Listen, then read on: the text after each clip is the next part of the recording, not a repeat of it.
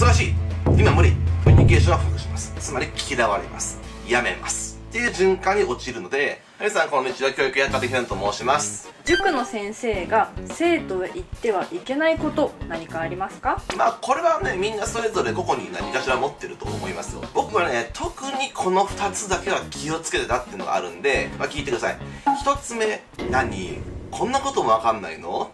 ですね。例えばだけどアルバイトの子がね東大とか東工大一橋ってるまあ早慶行ってるようなもうもともと勉強ができちゃった子がポロってね中学校の算数とかさ高校英語の最初の方の文系の方とかでさ言っちゃったりするのはまだ100歩譲ってダメなんだけどその学生の気持ちもわかるわけ。ダメなことなんだけど正社員の僕からすると管理側からするとああこういうのは言っちゃいけないんだよっていう研修をしてなかったなっていうふうに思えるわけ。ただ一番ダメなのは正社員が言うパターンです。正社員がこんなこともわかんないの？って言っちゃうんだよね。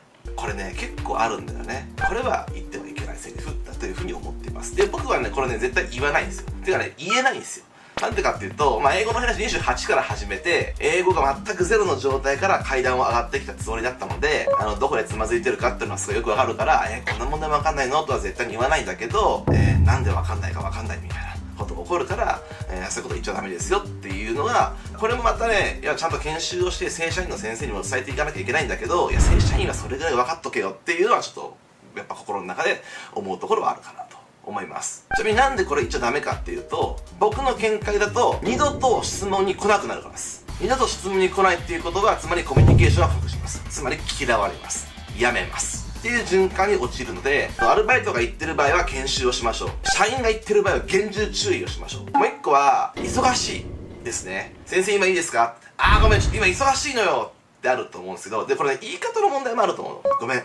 実はあと5分後に面談が入っててその面談が終わるのが多分1時間後ぐらいだからその後に声かけに行ってもいい？ごめんね。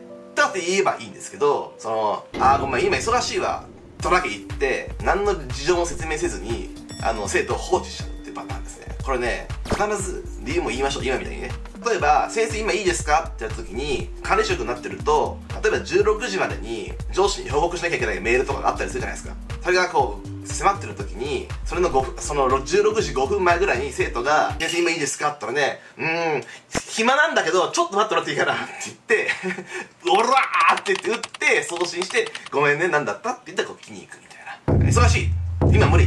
とか言うんじゃなくて、理由も言って、面談があるから1時間待ってほしいとか。あっていうふうに理由も添えて言えれば別に僕は十分なのかなっていうふうに思います実際忙しい時とか実際質問を受けられない場面ってあると思うんですよそこを嫌な感じにならないようにちゃんと工夫して伝えてほしいかなっていうのは思いますねぶっきらぼうな言い方になってないかっていうのは注意してえー、見てください。これもなんで言ったいけないかっていうと簡単で、あもう二度とこの先生のとこに質問に行かねえわってなる。えコミュニケーションが不足する、わかんないとこが放置される、成績が下がっていく、え親が怒る、えー、本人も嫌になる、退職するっていうパターンなわけ。だから、ぶっきらぼうに言わない。できないならできないで、何時間待ってとか何分待ってってちゃんと言う。それを心がけましょう。では参考になりました方、高評価、チャンネル登録の方よろしくお願いします。それでは、ありがとうございました。